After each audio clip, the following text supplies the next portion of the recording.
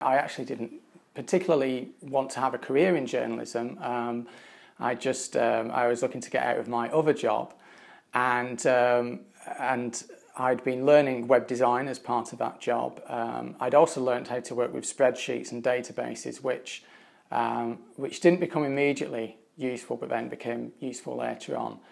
Um, so I, I, was working editing a magazine about the internet and technology, and so that's really how I got into the field was was reporting on technology and um, managing websites for publishers. So I then moved on to a, an educational magazine publisher, um, and then um, took a job at the university teaching multimedia, and I guess I realised that I, I, really quite enjoyed learning new things, um, exploring new things, and uh, and experimenting. So I remember in two thousand and four.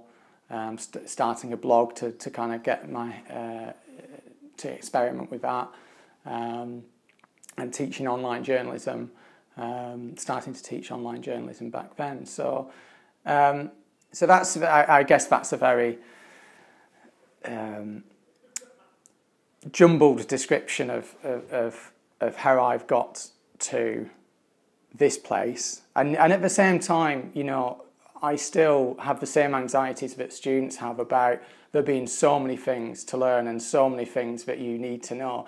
And I think you just have to accept that is, you will never know everything. And there are so many things that, that you need to know. And, and all the people who it seems like they know everything and they know more than you, it's not. They just know a few things that you don't, and you know a few things that they don't. And you, you have to work with other people because there's always going to be gaps in your knowledge. Um, so, um, so yeah, I, I, will always feel that way. That, uh, that there are things I should be knowing, and um, then you know you can you will spend your life doing that. What can a media person specialized in mobile journalism and online platforms uh, do today? What are their options, Paul?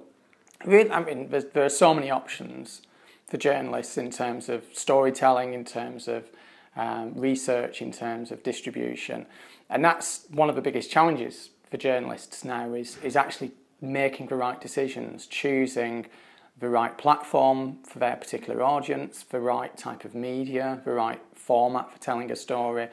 And, and half the ability really is what's now called content strategy, essentially. So being strategic in making those choices, there's no reason why every story you tell should be a 300 word text article, as, as might have been the case if you worked for, for newspapers in the past. Really, it's too easy sometimes to say we need this technology because everyone else is doing it.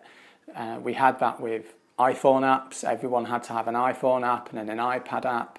Um, everyone had to have a Twitter account, a Facebook account. At the moment, everyone's got to have bots. Uh, everyone's got to do VR. And, um, you know, the first thing should always be people, the audience that you're targeting at. So, um, who are you trying to reach? Who are you talking to? And what platforms, what technology do they use and when? Um, you know, people will consume different media at different times. Uh, and that all leads to a, a, an effective decision in terms of telling the story in the right way across the right platforms for the right people. As a professor, uh, Paul, teaching at Birmingham City University School of Media, you've always been available to help and always been really generous.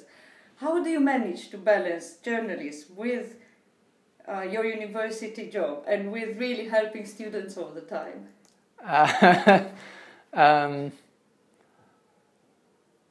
I, I, I, that's a difficult question to answer. Um, I, I, certainly prioritise, so I, I have certain systems in the way that emails are filtered, um, and students are always, for me, the, the first priority, so I, I try to uh, respond to their communication first.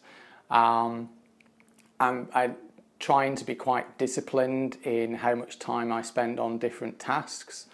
Um, so I, I, will try and put aside certain time to do certain things. Um, I'll actually try not to respond to, to emails too much generally because they just generate more emails and you can spend all day doing emails. And I think email is one of the biggest problems of our time, how we actually manage that without just spending all of our time sending emails. Um, so trying to only check them a couple of times a day, use filters, um, have a certain day of a week when I, when I kind of reply to all the ones that weren't urgent.